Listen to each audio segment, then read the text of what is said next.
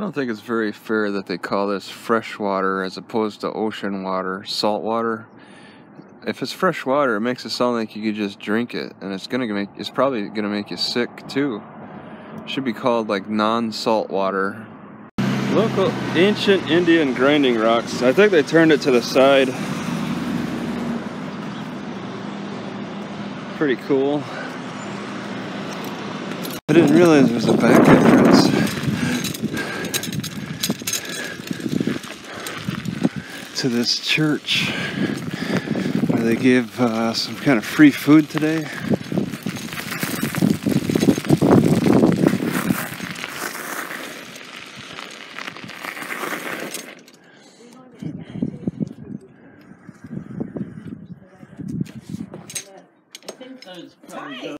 All right, very nice choices at this uh, food bank. is just a Whole Foods fruits and vegetables type of thing big sack of bananas. I thought it would be all fruits and vegetables. Well, it kind of is with these packages. Got to eat through them kind of fast. The hummus, sunflower chickpea, and then potatoes and apples. I left my bicycle at the, or I left my computer at the library, so I rushed to the food bank, the church, and I want to get right back. Just hopped in my car. This is covering maybe a mile or two. These potatoes, well, the sweet potato too, these potatoes seem to handle heat pretty good. I'm pretty impressed with that. Like carrots shrivel up to to nothing, but the potatoes hold themselves up pretty good. Maybe I'll bring this to the library. They don't seem to watch me very closely.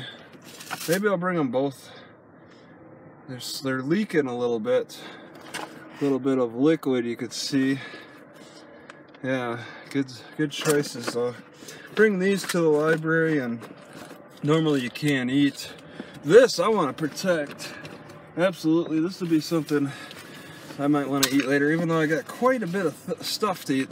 The chickpea hummus might go good with my potatoes, which I should expose to the sun.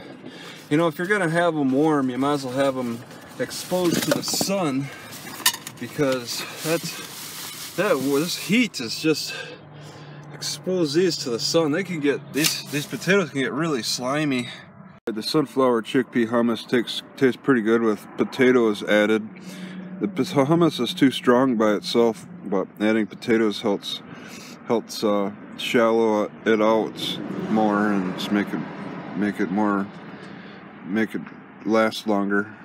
Alright, so after having tried laying my bicycle down on top of all my garbage, uh, I, I got tired of it, and so now I moved these things back here again, and I, I want to go back to the uh, having the bicycle stand up, but now I got a new idea, but I need uh, the right thing. I want to be able to attach this bicycle to this permanent hook thing that way it'll stay up. It does have a tendency to rock down. So if I could kind of like lock it to the side with that, I just need to find the lock.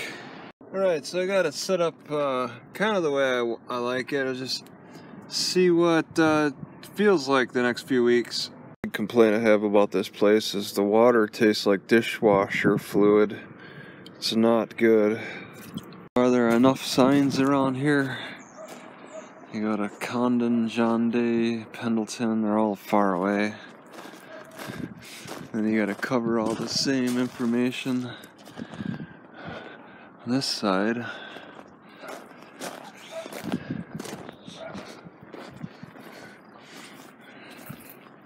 Unlikely, very different businesses. Got this guy hauling lumber for a construction deal. Snake River trailers and then a car car transporter. Seems kind of low to the ground but i guess that's for the business. For the car to get the cars on. So they got to let us know that they're using oh they need drivers. They're using electric electric logs. United Road out of Michigan. Town Throwdown next month. Freestyle, and I've seen these guys. I've seen like the kites in the air off in the on the river off in the distance. This area of uh, this city makes me think of Crescent City, just by the sidewalk layout. It's uh, different, but this is a lot of similarities. Alright, so apparently a John Day Dam uh, destroyed the, the first city hall. Go use the picnic table at, off in the distance there, but they they're currently spraying. There's they're watering the grass at 7 a.m. a little after 7 a.m. Yeah, can't they do that overnight? Oh, they're doing it over here. They just they're on over here now. Why they gotta turn the sprinklers on at 7 a.m.? Why can't they be doing that, scheduling that at, at like 3 a.m. or something? I learned a skill back in that trailer court. When you bring in new fish, you just keep them in the bag. Alright, my mom and, well, her boyfriend at the time, who's now the husband, they, whenever they got new fish, they'd keep them in the bag when they bring them from the pet store. That just helps the fish acclimatize. Yeah, I guess you just don't pour the fish directly into the fish tank. You keep them in the bag for a couple hours. Either way, I take that analogy for when I drive to a new area. I haven't stepped outside this car yet, and it's been a, been over an hour. I just parked here and just been sitting and watching, trying to get on the internet but it's helping me acclimatize. I'm listening, I'm I'm watching, I'm just seeing what the movement is like all around me around here. And then I'll eventually release myself from the car.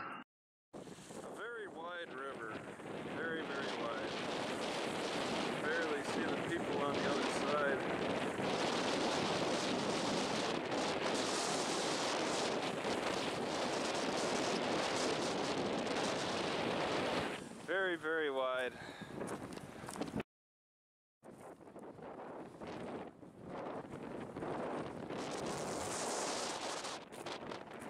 Incredible wind.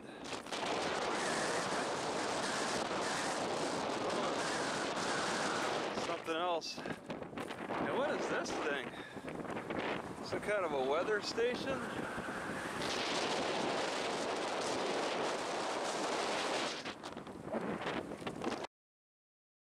Alright, so that's a slow moving barge.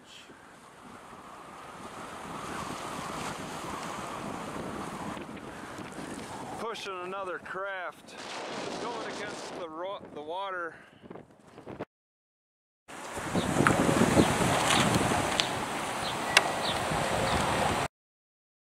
I'm amazed how steep this hill is and how there's people actually living towards the top of it, up and down there's a church I want to seriously consider parking on the side of the road.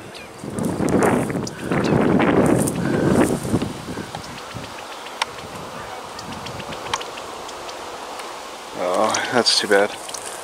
Lots of quail around here. They're really cute. It's so old for this impoundment.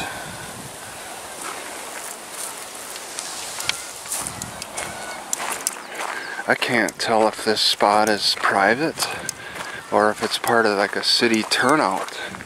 It really seems more like the city would own it. And did they throw this down? This is 2015. Did that vehicle come from that state? I find this interesting. Some kind of a door that goes underneath the street here. And I'm overlooking a house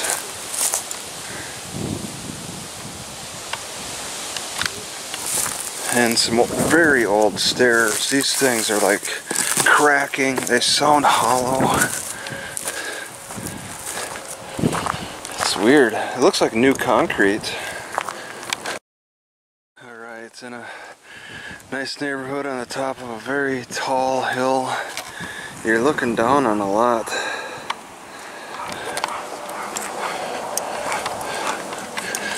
You see the windmill.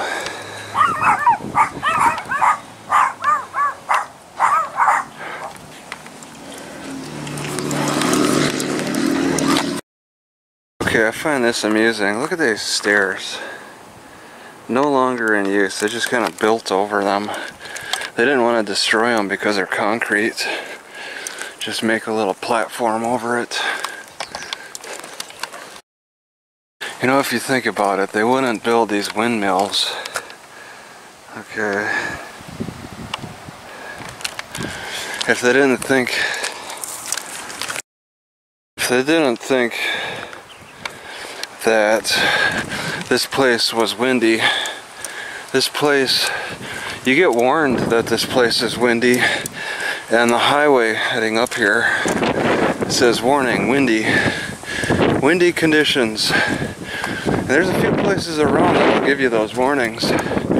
You got to worry about the wind as a driver. Those tall trucks got to worry more than me. Alright, so how'd you like to live? Very windy place, evidenced by the windmills. Look Yeah, these people see the windmills every day around here, but that affects their attitude. They're all around, off in the distance there.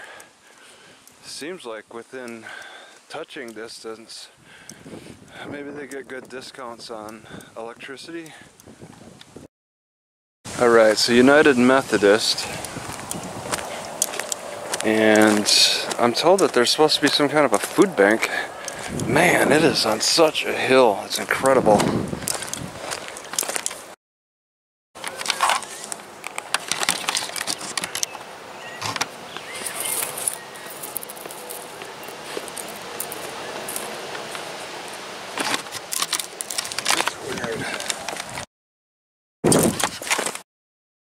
Okay, so this is at the church, and this is very common for the uh, the the thrift shops. They'll throw away the bad stuff.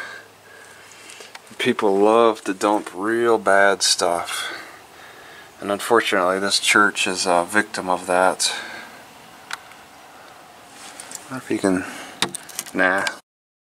Alright, so this is all at the United Methodist. It's at 1.30, so I want to be here at 1. That's a pretty neat cross. Alright, so coming further down, wow, what is this, a hangout? Some kind of a hangout here around the, the church. They got a nice, well kind of a nice view. Not great. I didn't realize there's a canal. Not sure where exactly it goes. It's a pretty neat view of the area. This whatever this road is.